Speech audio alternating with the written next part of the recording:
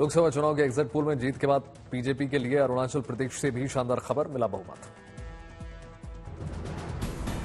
अरुणाचल प्रदेश में बीजेपी ने पहले ही निर्विरोध जीत ली थी 10 सीटें, साठ में से 45 सीटों पर किया कब्जा। अरुणाचल की राजधानी ईटानगर में बीजेपी कार्यकर्ताओं में उत्साह, पार्टी कार्यालय पर उत्सव का माहौल। सिक्किम में एसकेएम की जोरदार वापसी, सिक्किम क्रांतिकारी मोर्चा को लगातार दूसरी बार जीत। सिक्किम की 32 सीटों में से 30 सीटें एसकेएम ने जीती, एक सीट पर आगे। लोकसभा चुनाव नतीजे से पहले कांग्रेस में हलचल, प्रत्याशियों के साथ पार्टी अध्यक्ष खड़गे ने मीटिंग की।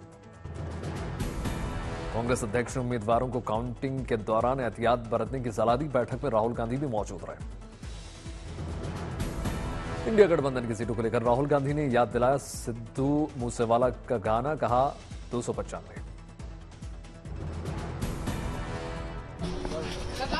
सिद्धू मूसेवाला का सॉन्ग सुना आपने? 295 295 प्रधानमंत्री मोदी करेंगे सात अहम मुद्दों पर बैठक। सबसे पहले चक्रवात रेमल के बाद पैदा हुई स्थिति पर चर्चा। दिल्ली के मुख्यमंत्री अरविंद केजरीवाल की आज होगी तिहाड़ जेल में वापसी। शराब घोटाले में आरोपी हैं केजरीवाल।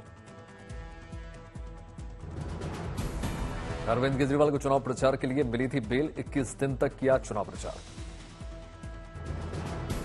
मुख्यमंत्री अरविंद केजरीवाल ने सरेंडर को लेकर ट्वीट किया। दी कार्यक्रमों से जुड़ी जानकारी। केजरीवाल राजघाट जाकर महात्मा गांधी को देंगे श्रद्धांजलि। कोनॉट प्लेस में हनुमान मंदिर में दर्शन पूजन करेंगे।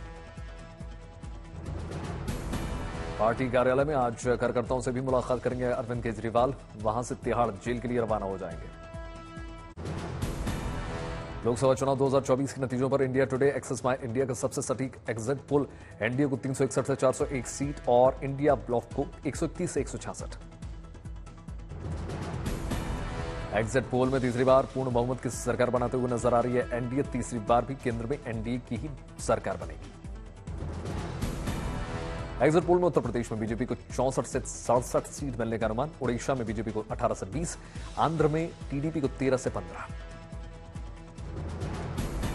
India Today Axis My India के एग्जिट पोल में एनडीए को उनचास प्रतिशत और इंडिया ब्लॉक को उनतालीस फ़ीसदी वोट मिलने का अनुमान।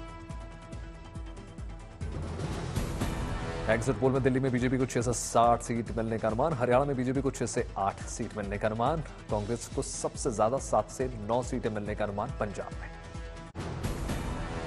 एग्जिट पोल में बिहार में एनडीए की स्थिति मज़बूत बीजेपी को 13 से 15 जेडीयू को 9 से 11 और एलजेपी को 5 सीटें मिलने का अनुमान।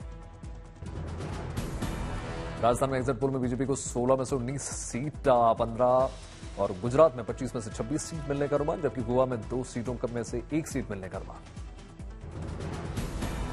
एग्जिट पोल में हिमाचल में फिर से चार शून्य से क्लीन स्वीप कर सकती है बीजेपी। उत्तराखंड में बीजेपी को पाँच शून्य व्हाइट वॉश कर सकती है। असम में बीजेपी को नौ से ग्यारह सीटें मिलने का अनुमान।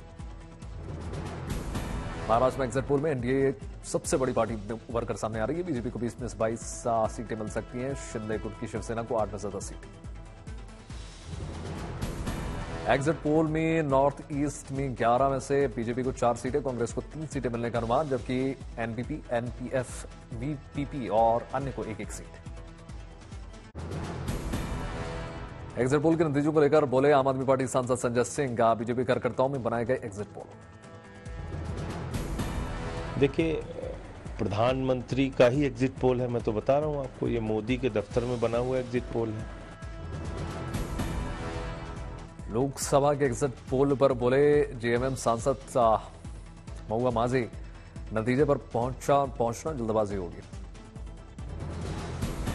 एग्जिट पोल के नतीजों को लेकर तमिलनाडु के बीजेपी अध्यक्ष ने बताई, एक शुरुआत चार जून को हम करेंगे साबित सरकार एग्जिट पोल आने के बाद से बोले बिहार के डिप्टी सीएम विजय सिन्हा का जो खेला करना चले थे, उन्हीं के साथ खेला हो गया।